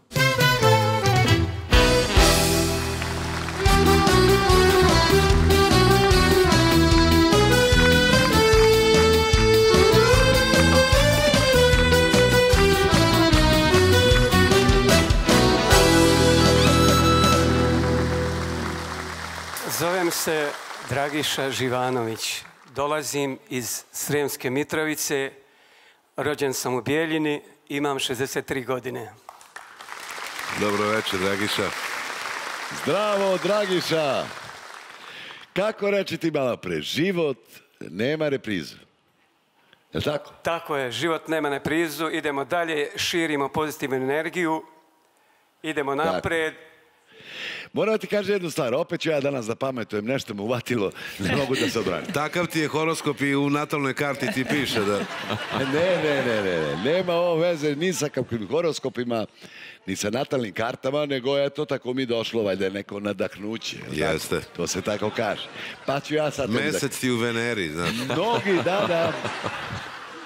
Mnogi ljudi koriste tu floskulu život nema reprizu da bi opravdali neka svoja ponašanja koja nisu baš u skladu sa i da kažemo i moralnim normama, nego nema veze, turira ih, daj gaz do daske, jeste.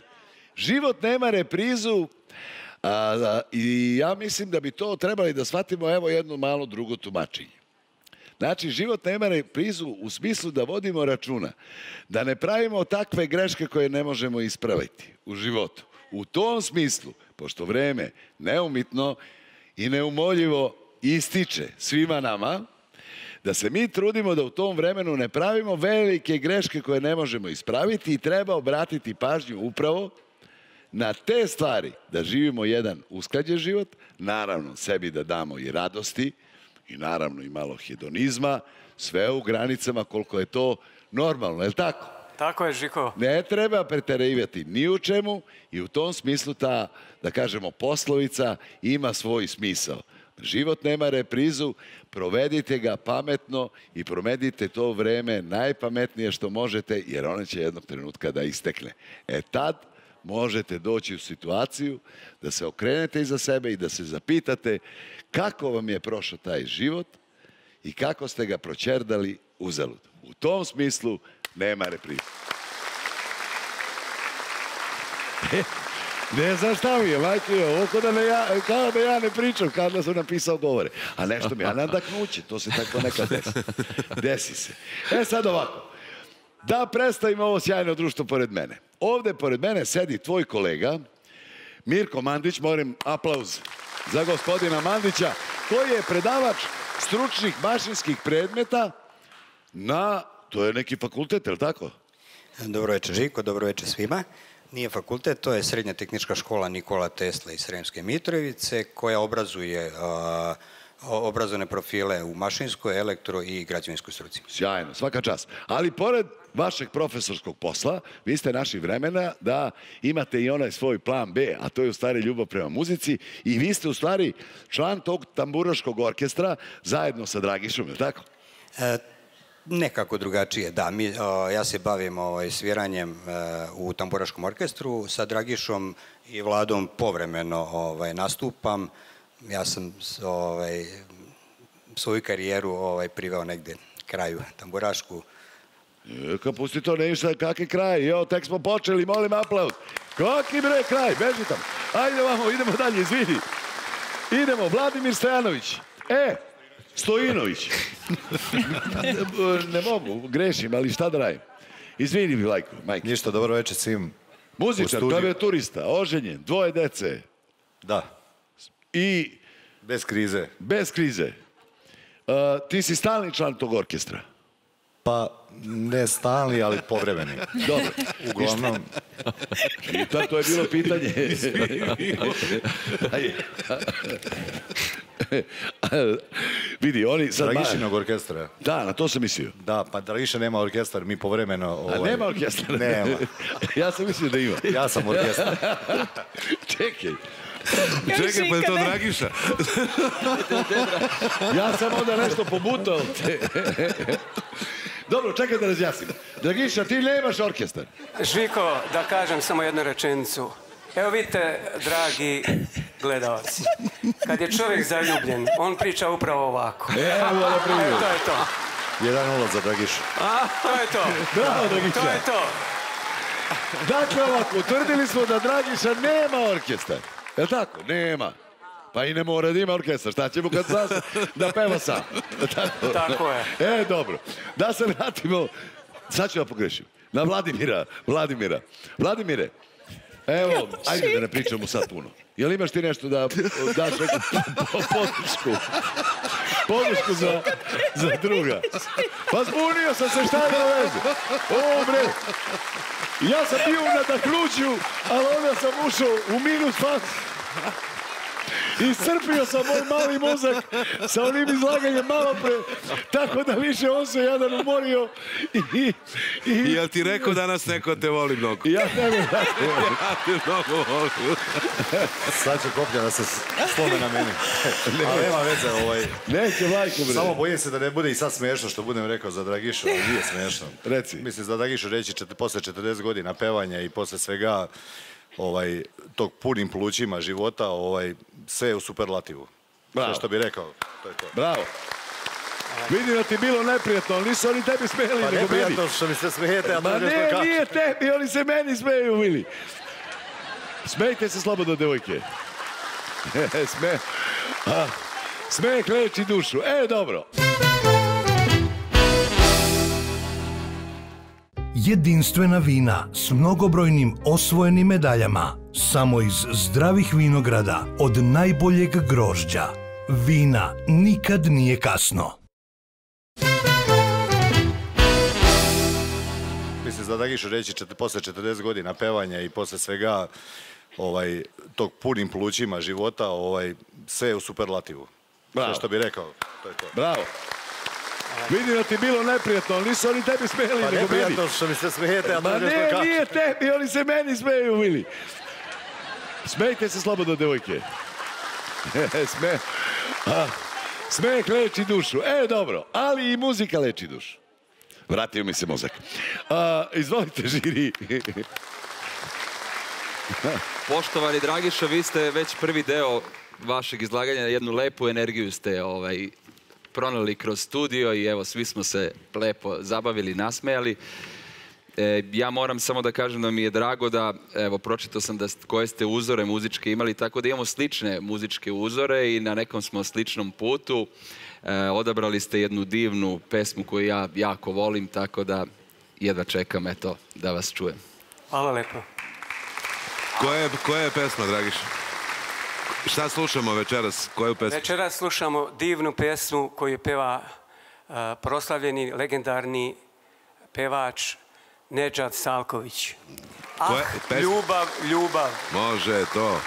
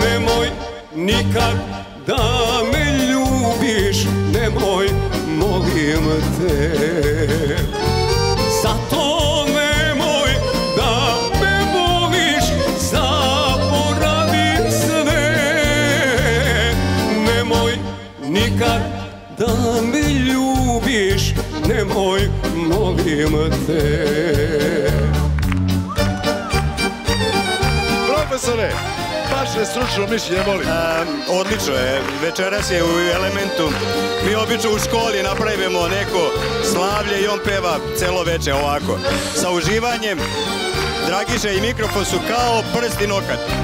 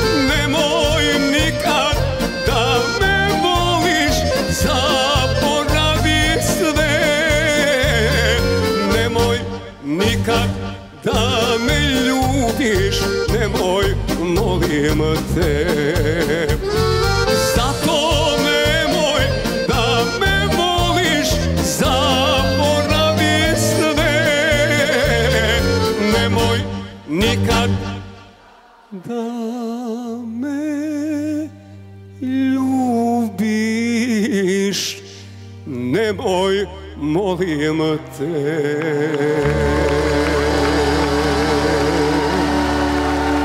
Hvala lepo. Bravo, Dragiša! Ovo je bilo specijalno za prvu ženu. Bravo! Ja sam upravo. Koja se žena najviše voli? Ovo, poslednja. Poslednja, bravo. Hvala. Bravo. E, Dragiša, glas publike ste definitivno dobili. Hvala lepo. A sada ćemo da čujemo da li e, ste dobili glas žirija. Nikola, izvoli. Fenomenalno, stvarno. Evo, reakcija publike, ali ovako sa strane i pevanja i dinamike i što je i Mare rekao, stara škola, to je to. Vidi se, ovaj, lepo. vidi se pravi način učenja pevanja. Ornela, izvoli. Koliko vam je to srce, Dragiša, veliko. Veliko. Hvala vam. Hvala lepo. Hvala lepo. Mara, izvoli. Kad smo rekli stara škola, to je najpozitivnije. Znači, onako kako se to peva, vi ste to otpevali, sjajan, moćan glas, poznavanje gradiva, predavanje, sve je bilo na, na maksimalnoj visini i, i čestitam, Dragiša. Bravo. Hvala bravo. Ej, ej, moram, moram, moram, moram. Ne, ne, ne, čekaj, čekaj, čekaj. Kad si me pitao malo pre, znam i za, za, i za tu uh, poslovicu, floskulu, kako god hoćemo. Kad pitaju ono ka, koja se žena najviše voli, svi kažu, šta kažu obično? Prva, druga, te. Šta kažu? Pa kaže, najviše se voli druga žena. Vidi, ali ja ću ti kažem šta je prava istina. Najviše se voli trenutna žena. Žiko, svaka čast. Aktuelna. to je živa istina. E, vidi, sjajan si bio. Evo nešto hoće da kaže Vladimir. Kaži, Vlajko. Ne, Mirko. Dobro, to je okej, to je sasvim okej.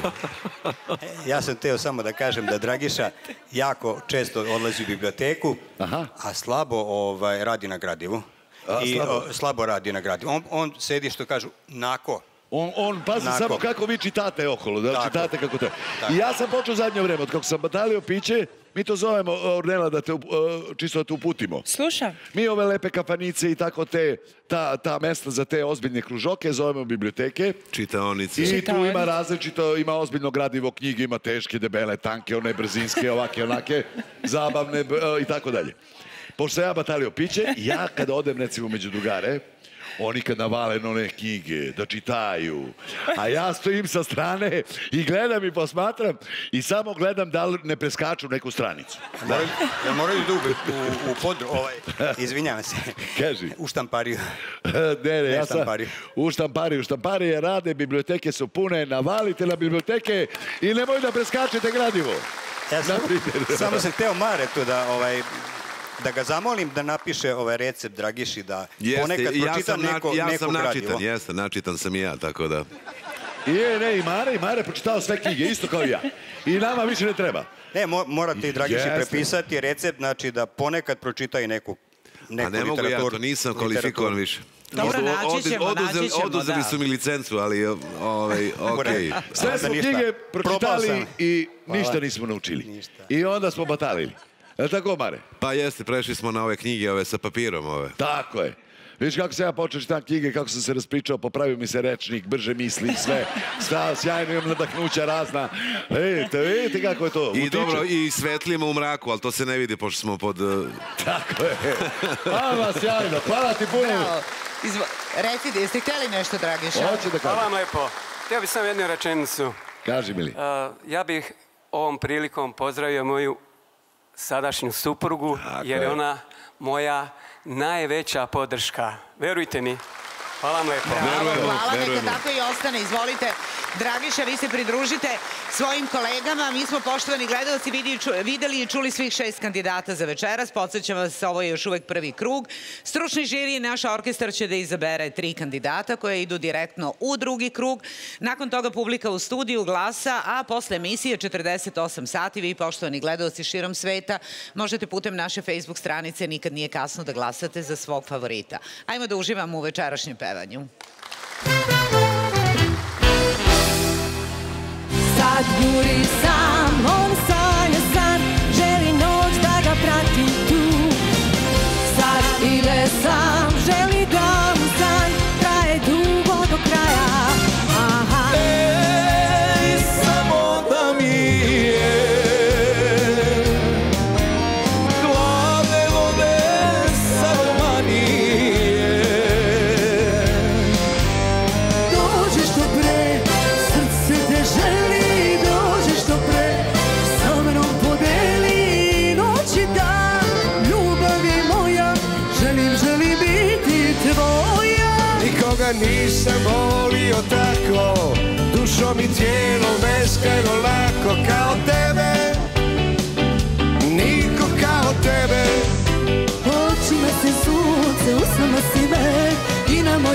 sreću došao je red Očima si sunce, usnama si me I na moju sreću došao je red.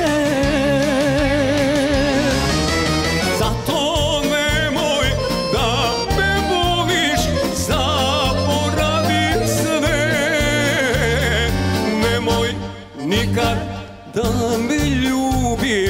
Nemoj, molim te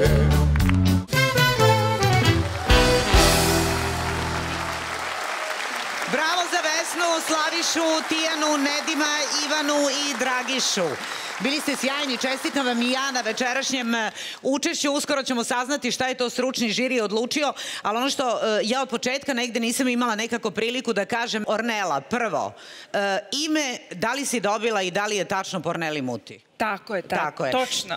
Rođena si Mostarka, jel tako? Tako je, tako je. Živiš u Zagrebu. Tako je. Beograd ti uopšte nije nepoznat jer su ovde tri serije snimane, koliko Tako ja je. znam. Tako Jel tako? Podsjeti nas koje? Oj, oj, snimali smo, ne znam, pogrešan čovjek, prava žena, pogrešan čovjek, e, gostujemo stalno sa predstavama Atelje 212, kazalište Kerempuh, Zagreb i tako, ali da se sad tu ja ne prezentiram, ajmo Zašto radije- ne? Zašto ne? Ja sam htjela to baš. Koje su to predstave u pozorištu? E, predstave koje smo igrali. Da. Pa ne znam, koje potpisuje Aleksandar Popovski, Vito Taufer, e, tako. Dobra imena, regionalne scene. Ono što znam, to je da jako voliš pozorište. Tako je. I, Tako i, i da voliš scenu, druženje sa publikom, e, e, to neposredno. Pa mislim da su to daske koje život znače. Da je to jedna ljubav koja se ne može opisati, strast koja traje od malih nogu i vjerujem da će trajati cijeli život. Ostaješ u Zagrebu i koji su planovi? A planova ima uvijek puno, uvijek se nešto kuha, sad što će se realizirati, obavijestit ću ja sve. O, bravo, čekamo. Čekamo na to, ali čekamo i da čujemo šta je žiri odlučio. Koji su to kandidati koji idu dalje? Pa mislim da ćemo mi morati sa Žikom malo obaviti razgovor. Nema potrebe. Imamo Nema problem. potrebe. Nema potrebe da se obavlja nikakav razgovor sa mnom. Ja mislim, kad se ja umešam u žiri, otprilike i publika zna šta će da se desi. I ja mislim da večeras ima, imam apsolutno pravo da iskoristim moje pravo i da proglasim da svi idete u sljedeći krug rodina. Ajde rodina vamo! Da se iščestitamo. Zašto? Zato što ste zaista sjajni.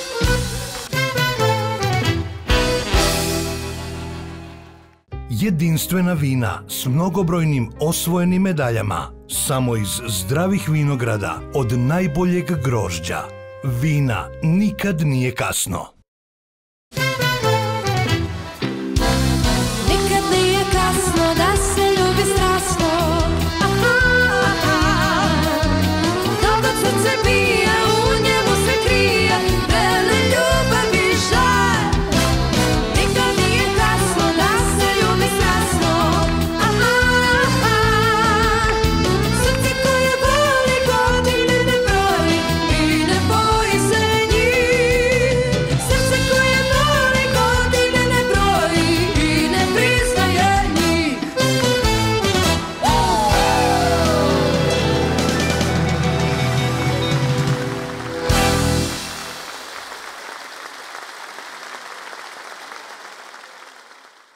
Jedinstvena vina s mnogobrojnim osvojenim medaljama. Samo iz zdravih vinograda od najboljeg grožđa.